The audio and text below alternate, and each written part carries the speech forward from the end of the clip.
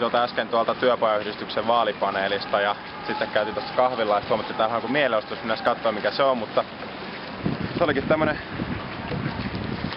Vapauta Matti mainoksia jakava mielenostus sissimarkkinointi homma, kun äskenkin googlasin, niin jonkinnäköinen pikavippifirma.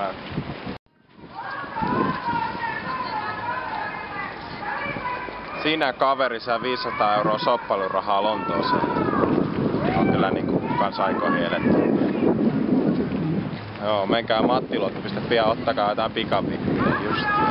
Ei ne mennyt tonne tota eduskuntataloon eteen mielenostukseen, koska ne tulee tänne kapitalistiseen elämään tänne kauppakeskusteet, että ne ihmiset voi mennä ottaa kessin laukkoja ja mennä mattilotto.fi ja ottaa sieltä 500 euroa lainaa.